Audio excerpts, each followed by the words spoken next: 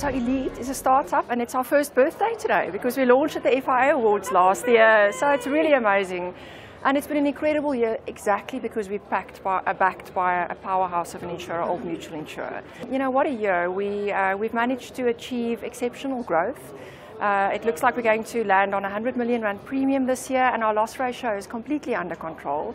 So, from you know, you know, when it comes to insurance, those are the important uh, measurements that we have to consider. So, what made us successful this year? I think. Um, launching a new business in the South African insurance industry when you've got a proven track record and incredible relationships, it makes it quite easy.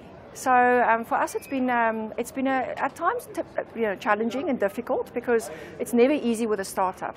But if you've got a, um, a number of years that you can fall back on, that um, that that you know where you have a proven track record of good relationships, not just relationships, but where brokers know what it is like dealing with you as an individual and your management team, um, it does make um, doing the startup easier. So I, really just wanted to, to, take this opportunity tonight to say thank you to the FIA um, for recognizing insurers in, in general and, and all the stakeholders in the industry and um, for helping us along our way. Um, we've managed to create 24 new jobs in a very tough economy this year.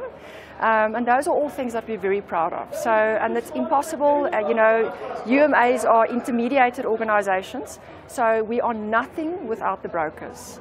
Uh, the FIA members are what give us our, our success. So uh, it's a shout out to all the FIA members and it's a thank you and it's a, it's a, it's a hopeful, please support us in the years coming that we can have the same conversation 10 years from now and we'll be established and we'll look back on this first year anniversary with, um, you know, with good thoughts.